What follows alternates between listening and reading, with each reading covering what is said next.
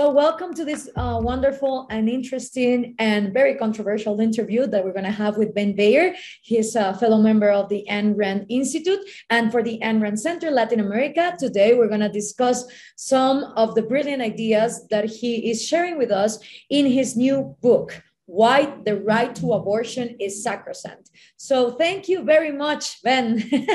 uh, first for writing that book, and second for for um, giving us this interview. You've been writing on the topic of abortion for a long time, and you've currently published this book. Do you perhaps see the right to abortion is in danger in the United States? Oh, definitely. Uh, so this is a topic I've been writing on for maybe four years or so uh, at ARI. The book itself is really just a it's a collection of some of the essays that I've written for our publication New Ideal. Not everything I've written on abortion, but like the key essays that give the most essential points one needs to understand the objectivist position on this. And the reason that we decided to put it together into a little booklet is because yes, absolutely abortion rights are in danger in the United States. We've seen it coming for a while now. Uh, today is June 23rd, to, uh, 2022. It seems almost a certainty that we're going to get a decision from the Supreme Court within the next week, perhaps even as soon as tomorrow. And if what we get is anything like the decision that was leaked uh, from the court back in early May, then it it's either going to overturn Roe v. Wade or it's at least going to dramatically restrict its reach. Uh, I think uh, it's it's probably going to be overturned. I I hope I'm wrong, uh, but um, so it's it's that means it's it, that abortion rights are in danger for women all over America. Uh, half of the states uh, will have laws if not severely restricting abortion, then banning it outright if if uh, Roe v. Wade is overturned. So, in your book, you make the case that uh, this unfortunate situation is also happening because none of the defenders of the right to abortion make a good, solid defense of the right to abortion. And they end up doing more harm than good giving support to this right especially the liberals right like the democrats and and you say that their arguments are so weak that they end up being mocked and taken advantage by the opposing position what are the errors that you see in these arguments altogether what most defenders of abortion rights lack is any kind of moral seriousness on this subject. Uh, now, to some extent, that's understandable. Uh, they uh, the the only uh, case they've heard on the other side is is from the perspective of religious morality. They might just not take religion seriously, and they might kind of run morality and religion together.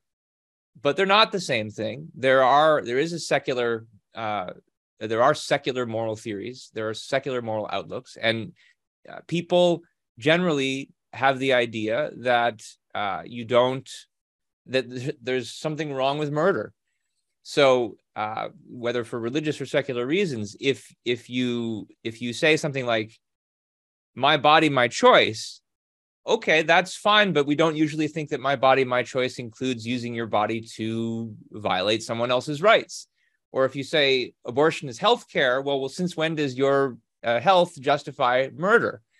If you don't address the fundamental assumption of the anti abortion argument, which is that the fetus or the embryo is a human being with rights, which when you kill it, you're committing murder. If you don't address that, you end up sounding like you're saying uh, you can you can achieve various goals using murder as a means, and that I think has the that's a makes it sound like you think life is cheap and you don't care about morality. And I think that's part of the reason why the uh, the abortion uh, rights defenders have have uh, have been losing the argument. And I'll add one more point to that, which is that almost everybody in uh, the world, uh, regardless of what side of the political aisle they're on, when they think in terms of morality, to the extent that they're morally serious, they equate morality with selflessness, with self-sacrifice, with altruism. And if that's if that's what you equate with morality, then in fact you're you're going to have a hard time explaining why it's moral to get an abortion and therefore why why there's a moral right to an abortion. The the moral assumptions uh, that most people accept would have you believe that uh, you should if if you're suddenly if a burden is forced upon you if, if if there's some other being that has a demand on you you should be selfless and sacrifice and give up your comfort and happiness and uh, and prosperity to sacrifice for it. And who are you to be selfish and say no it's my life. Uh, i want to do what i want to do. That doesn't look like a moral decision. And so one of the things that i think uh, basically dooms the leftist defense of abortion rights is that they've embraced the morality of selflessness, self sacrifice on every other topic, and you hear them invoking it on every other topic. Uh, you know, the rich people uh, are selfish. That's when when they uh, are successful in business, they're just exploiting the little guy, and they should really give it up. And and who are they to demand their own wealth and happiness? They should they should sacrifice for the little guy. Well, there's no little guy littler than the fetus.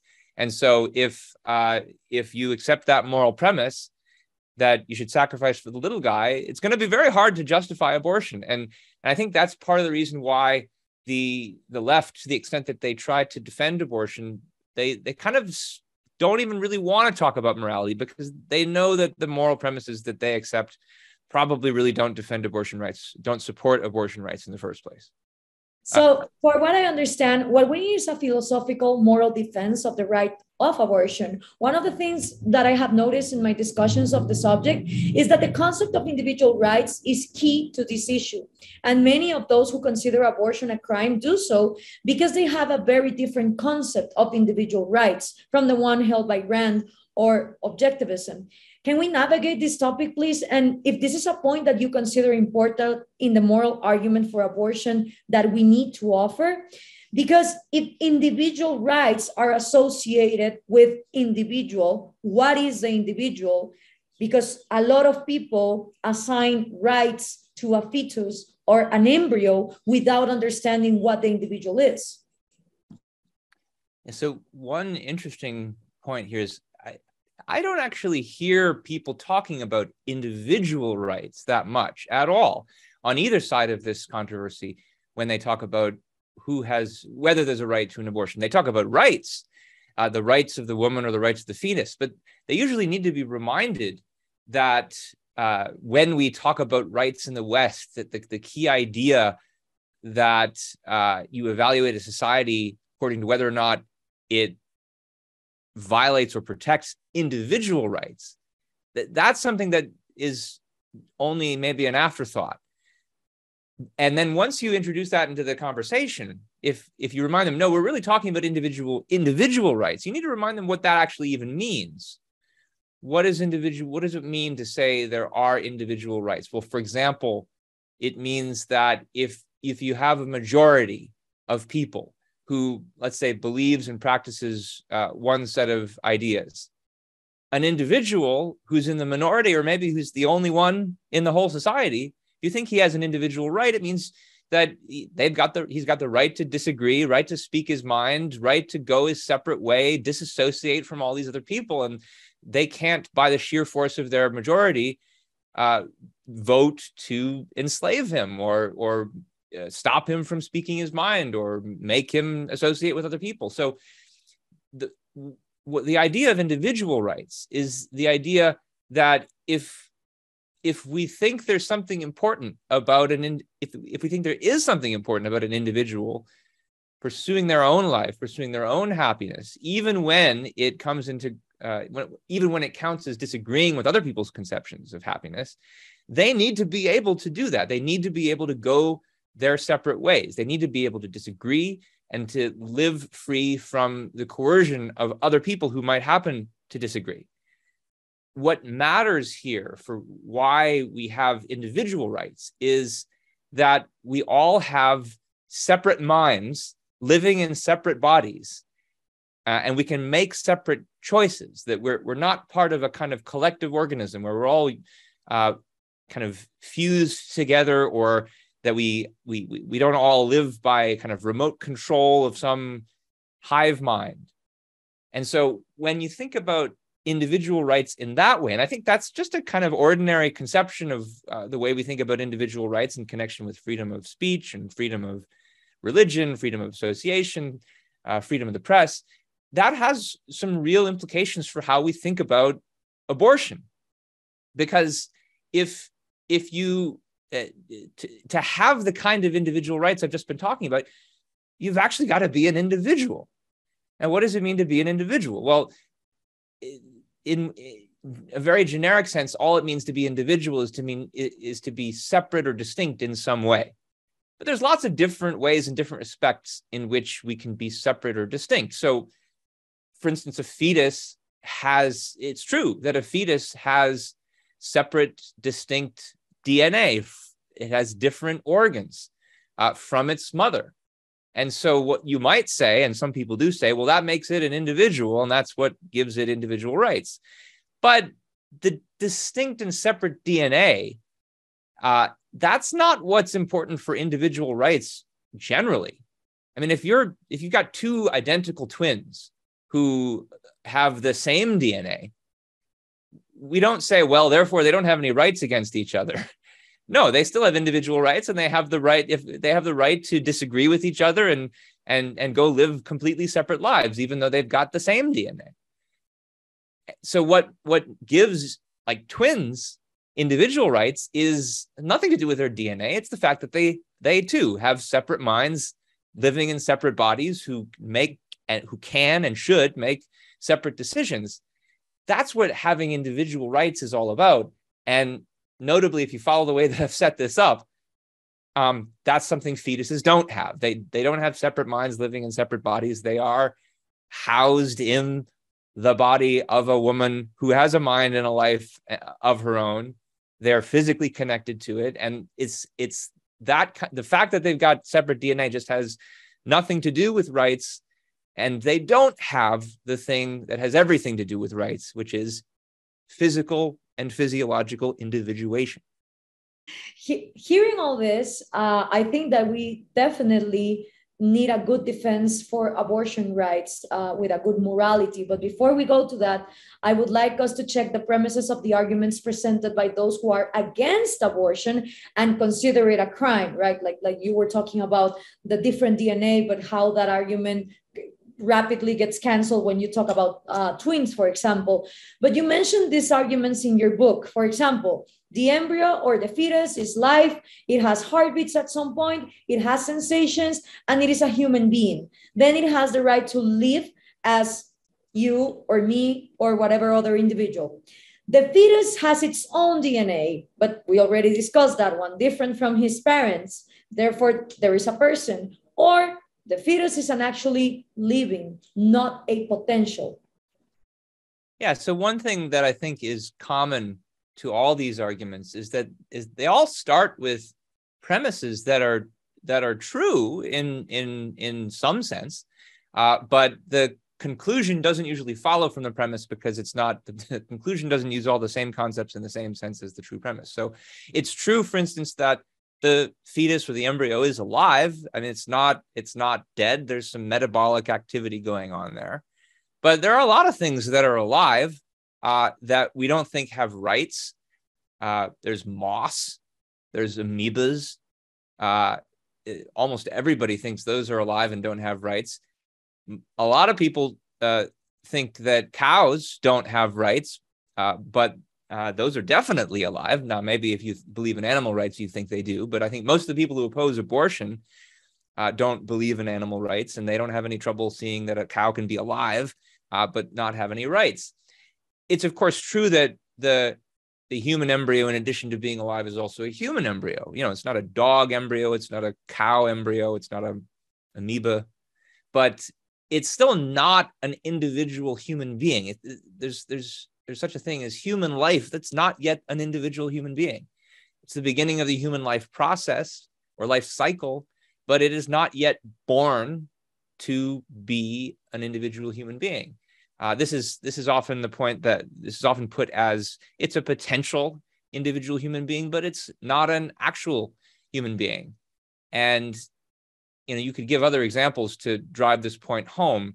Uh, a brain dead human being who's uh, living on a heart lung machine, who's got all the DNA of a human being, and even one whose heart is beating because it's being, you know, pumped by a machine, we wouldn't say that such a being has rights either, because uh, just like the fetus hasn't yet been born, in this case, the the the the the brain dead human being has has died in the relevant sense that makes for human life, which is uh, the it, its capacity to live as an independent being, which you know you need a brain to do, has gone out of existence. Uh, yeah, so you already uh, you the second one you mentioned was the DNA one. I think we talked about that one already. Um, and then the third you mentioned was the fetus is an is not just a potential; it's an actual uh, living being. Some people will say, well, it's true that it is an actual living fetus. Everything that exists is an actual something. Uh, but an actual living fetus is a potential, is only a potential individual human being. Just like an actual individual human being is only a potential human corpse. So there's lots of things that can be an actual one thing, but still be a potential other thing. So a lot of people, because of accepting this living condition, think that abortion is murder, but still defend abortion. It's it's not that they think that it's not murder. They say yes, it is murder because it is a living thing, but still, in this case, there is a right to murder. Can you explain why abortion is not murder if it's uh, ending a living, uh, existing thing that might not be an individual, but is a human life? Well, it's true that abortion is killing, but murder is usually defined as unjustifiable homicide, uh, as as killing a human being with rights in a way that's not justifiable. So, just to give another example, something like uh, killing in self-defense is killing. It's killing a human being. It's even in that case, it's even killing an individual human being. But we still think it's justifiable killing because someone else is trying to kill you, and you have the right to defend your life against that other person. And so that's another case where it's killing but not murder. And I think there's more cases than that. I, I wouldn't say, as I think some do, that what justifies abortion is that it's a form of self defense. Uh, that implies that the fetus is some kind of agent that's threatening you but because i don't think it's even an individual to begin with i don't think it can actually threaten you. It's just it's a burden and uh, hasn't become individuated yet. And so therefore doesn't have individual rights in the first place. And so the reason killing it doesn't count as murder is because it's not uh, it's is because it's justifiable to kill something that doesn't have rights and there's another thing in your book, you talk about the secular sanctity of life, making a difference from the religious point of view on sanctity. And you mentioned this concept as part of your argument for the right to abortion. Can you explain this? Life as a supreme value, but for who? Someone has to be the valuer. There's no value without anyone to value it. Well, you've uh, you've explained a, a good amount of it there already but I'll just mention the, the reason that this, the reason that I make this point and the reason that we gave the title to the book that I did is purposefully to be provocative and to invert the usual kind of language that's used on the other side of this issue. It's it's usually the anti-abortion rights people who say that they are pro-life, who say that they are concerned with the sanctity of life, the trouble with that is, and the reason I think we should never call them pro life, we should call them anti abortion, is that the kind of life that they're interested in, in protecting, the life of the embryo or of the fetus, uh, well, while it may be uh, valuable or uh, precious to a mother who wants to have a child, if she doesn't want it, it's not, its life is not necessarily valuable to anyone uh, if you don't believe in a God and I don't believe in a God, then it's not valuable to a God. Uh, it's certainly not valuable to the fetus itself. The fetus itself, uh, because it's not an individual, it can't yet act. It doesn't value anything in the way that human beings do. And what's distinctive about human life and what what makes it precious and what makes things preciously valuable to human beings is the fact that uh, some of us are desperately trying to live it. Some of us have one and only one life that we've been given, and we we want to make the most of it. And so it's it's really it's our choice that makes it precious. It's our choice that makes it sacred. That our the things we want to achieve in life are sacred to us because we need them to live the one and only life we have. And that's exactly the situation that the the woman is in when she chooses to have a child because she wants to have a child then the child's precious to her but so and and so is her life. She sees the child as part of her life. She wants to add it to her life. But when she doesn't want a child when it isn't part of her plan uh, when other things in her life are what she's she wants to prioritize those things are sacred to her life her life is sacred to her and bringing a child into her life that she doesn't want uh, that is something that that is a violation of that sanctity especially so, when it's imposed on on her by the force of law. Right, because then you are absolutely violating the individual rights of the person who's already been born and who is making choices, which is the woman. But what would you say if they say, okay, maybe the child has no value to the potential mother? Maybe the child doesn't have a value or, or the fetus has a value in, in its life itself because it has no capacity of having consciousness uh, to value its own life. And maybe there's no value in a God that does not exist for that um, fetus to exist. But what about the collective value, which is some of the argument of the anti abortionist people? Is like, even if the mother doesn't want it, she should get pregnant, have the child, and then give it to adoption because potentially someone else is going to find value in that child's life.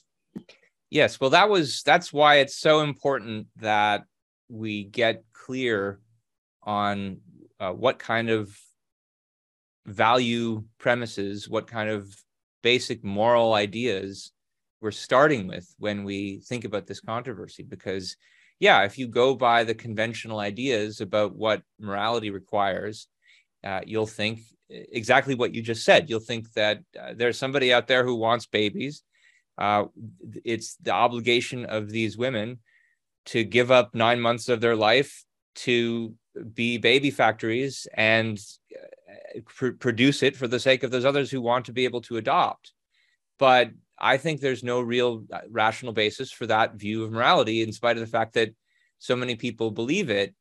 I'm you know, I work for the Ayn Rand Institute, and uh, we uh, at the institute are in agreement with Ayn Rand's idea that your own life is your own highest value, that no one has the right to demand you uh, to sacrifice any of your time to them. There are we have to choose the people that we want to have relationships with and when we when we do we see them as part of our life and we want to we want to make them happy but that's only because we see them as part of our life and so uh, that being the case a woman has the right to live her life uh, because it's right for her to live her life. It's because it's right for her to pursue her happiness. And so no, and and she needs to be able to use her body the way that she wants to to do it. That means that she needs to have a choice about how to exercise her reproductive capacities. She's an individual with, with rights. Her life is of value to her. Uh, it's her right to live it consistent with the rights of others, and a fetus isn't an individual, it doesn't have rights, and so the woman has the right to an abortion. So, for last question, uh, let's hear now what a good defense of abortion rights would sound like. And can you tell me what is the real philosophical debate here? And can you offer some, uh, to close this interview, the moral case for the right to abortion? Because I sense that even people that are for abortion, they don't think it's a moral stand they just think it, they just think it's it's right it's better than the alternative, but not necessarily moral. And I, I, I, I, sense, especially in Latin America, with people that are trying to defend abortion rights as something that is the less the less mean of all the bad things that could happen. You know like it's because after a rape is because it, it, it's gonna be for an adolescent girl that is, is, is going to have her future completely harmed and, and in absolute poverty, but not necessarily because they see it as a moral, good, correct thing to do. is just the lesser of all evils. So, how could we offer a moral case for, for abortion? Sure. So, uh, some of the things I said in response to your last question already help answer that question, but I'll I'll drill down on a few key points. So think for the moment, just leave aside the question of abortion and suppose you've got a woman who is, let's say, uh, uh, grows up in a working class family. She's not given a lot, and she she studies hard. She works hard to work her way up in the world, work her up, work her way up through the the ladder of the business world uh, finally earns enough money to, let's say, purchase her own business. Uh, going through the, all those steps, I think most people would say, well, that takes a lot of uh, integrity and it takes a lot of courage and it takes a lot of virtue, and that that fighting your way up in life like that is a good thing to do. That it's a morally good thing to do. Now, if you accept that in uh, as a characterization of what this woman is living her life to do, the fact that she also sometimes has to make choices to prioritize her life in favor of, let's say, her career as opposed to raising a child is no different. Uh, as, as long as you assume, and, and, and I would argue for the assumption that the fetus doesn't have rights, then it's a supremely moral thing. It's a, it's a courageous thing. It requires integrity, especially in a world that opposes you, right? So, especially in a world where that thinks that abortion is immoral, it especially takes courage and integrity to have the courage of your convictions to make that choice. But even if the world didn't agree with you, it would still be a difficult choice. It would require a lot of thinking.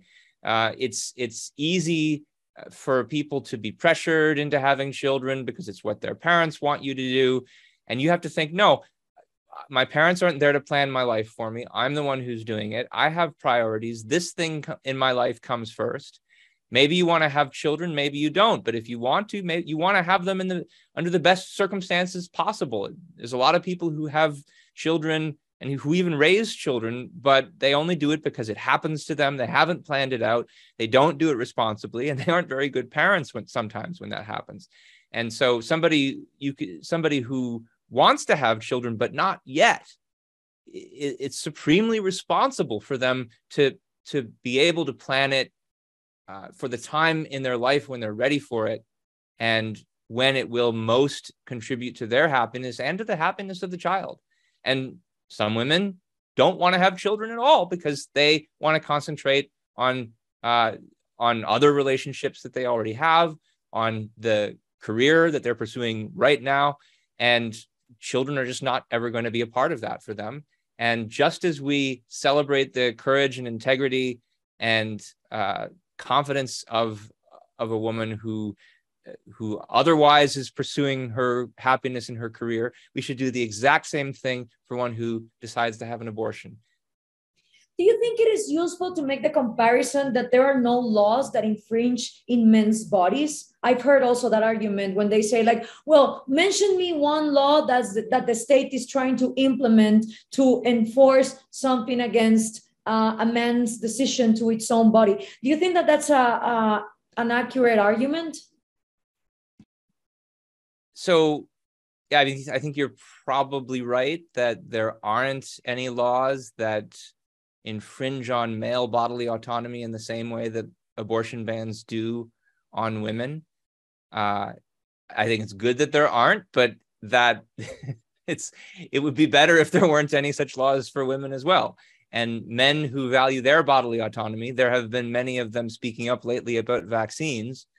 uh, should if they if they're serious about that and they're not just making a kind of cynical tongue-in-cheek argument then they should think about what it means to say uh, they have the right to bodily autonomy. Think about why it's important and realize that all those reasons apply in spades uh, to a woman who's faced with the prospect of being forced to give birth. I mean somebody who's forced to get the jab has to suffer a, a little pinprick and uh, risk of maybe some small side effects, uh, somebody who's forced to give birth, and that is what abortion bans are.